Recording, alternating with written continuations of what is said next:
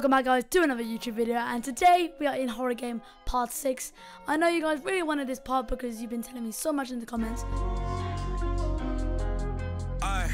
Today we're going to be making a killer NPC so we're going to be making a maze. So when you go into the maze an NPC should follow you and when it touches you it kills you. Fairly short tutorial because the script is very long and I'm not going to bore you by making you write the whole thing.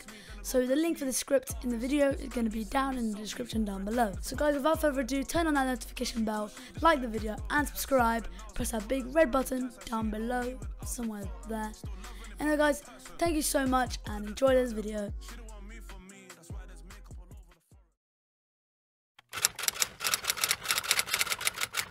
Alright guys, so we're in Roblox Studio, we can just go ahead and continue with the map. So as you can see before, we made this note over here, and when you click on it, a frame will appear. Well today we want to make the killer NPC, so to do that, we can go to plugins, build rig plugin, and if you do not have this plugin, the link will be in the description. Once you've clicked on that, go R15 and press block rig. And it should appear with something a bit like this. This is your rig like this and now we want to design it to make it a little bit scarier. So all I'm going to do is I'm just going to change the color. That's it. Now once you've colored this guy, you can now go to dummy, open up the dummy, add in a script. And in the script, we want to paste in the, the script in the description. So go down in the description down below and paste in the script. Oh, by the way, make sure to change this to attack NPC script just like that. There you go. Alright, perfect. So once you've pasted in your script, it should look something a bit like this. This is the script all done. And pretty much what it's doing, it's getting the humanoid root part from the character and pretty much this NPC is going to follow your humanoid root part. Oh, and one more thing.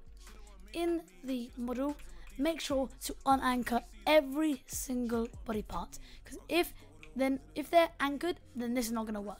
So just highlight left foot and go down to humanoid root part and make sure to unanchor it. By the way, check humanoid root part because that is sometimes anchored.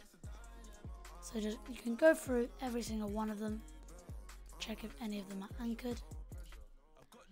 Perfect, it's not anchored, so now we've not. So now we've done it right. So what we can do is just drag this away, add in. So you just go to your toolbox and search on maze, and then scroll down and find this one. I like this one right here. So just click on that. And then you can drag it over here. And you can take this guy. And where are we going to spawn? Let's say... Yeah, we're gonna, we're gonna spawn here. So, alright, so once you've done that, go back to your map and where the spawn point is, which is over here. Uh, there we go. We can take this and we can drag it all the way to the beginning point, which is here. Just like that.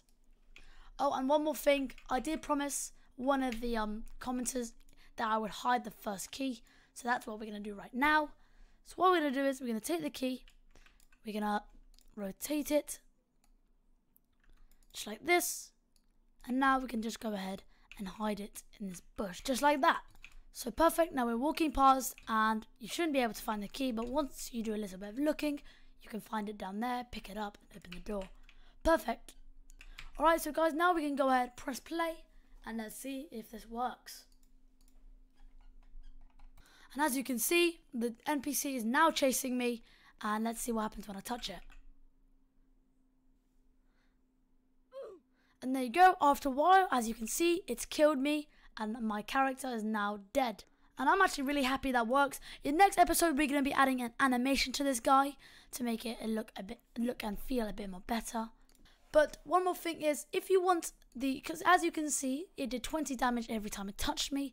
So to make it do more damage in less times, just go to here where it says touch.parent.humanoid colon take damage 100 or for you that should say 20 change it to 100 and now we can play it again and see how long it takes to kill me alright so the npc is now chasing me and let's see what happens when i touch him boom as you can see it kills me straight away in one go So as I said, we're going to be adding an animation next episode. I really hope you enjoyed that video. Make sure to like and subscribe and hit that notification bell.